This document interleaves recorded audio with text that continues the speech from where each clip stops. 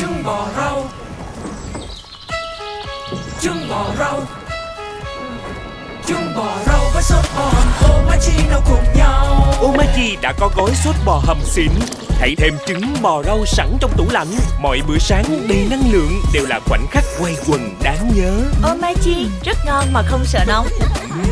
Ngon quá em Bữa sáng đầy năng lượng. Omachi sốt bò hầm nấu cùng trứng bò rau.